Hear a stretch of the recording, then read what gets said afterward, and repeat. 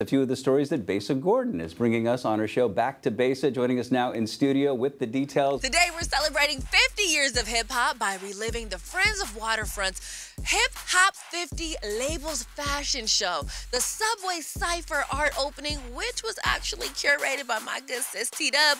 Plus, we head down to Portland to tap in with Mikey Vegas, who is one of the partners over at Trap Kitchen PDX. And let me tell you, if there's one thing I'm gonna do on this show, friend, it's eat and eat good because they definitely hooked it up. We'll also show you what's been happening during the Rainier Beach High School replacement project. We go to Capitol Hill where community honored Elijah L. Lewis through art.